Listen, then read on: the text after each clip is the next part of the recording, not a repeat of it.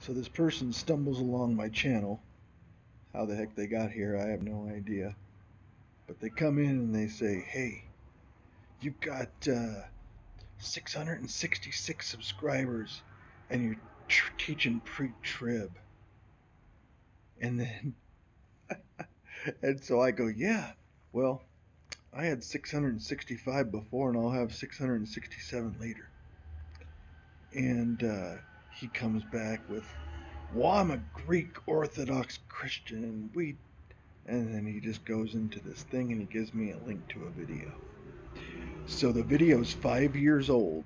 It's got a hundred likes, and it's not from him. It's from somebody else who's talking about Iraqi Christians who are fearing the, uh, the Antichrist is coming. Um, oh boy, it is just it's out there anyway. Um,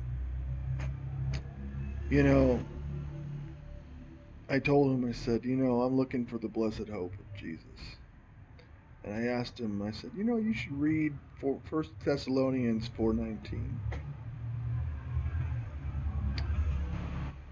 Start before that, though. That's even better. But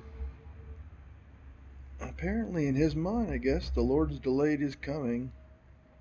So he's beating up his fellow servants already. Sad. You know, we talk about the blessed hope every week on Uptime. Um, I really hope you come because we have a great time there and we take your questions and um, we're looking for people all the time. Come on, a special guests. Um, we're kind of booked, but we could have on more. Who knows? Anyway, um, we get attacked though. See? You put yourself out there, you say what you believe, and you point to the scriptures. Mm, they don't like it. They don't like it.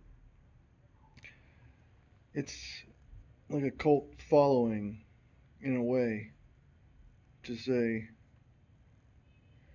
that we have no hope when that's all we have we do have the blessed assurance and we have the blessed hope. Have a great night.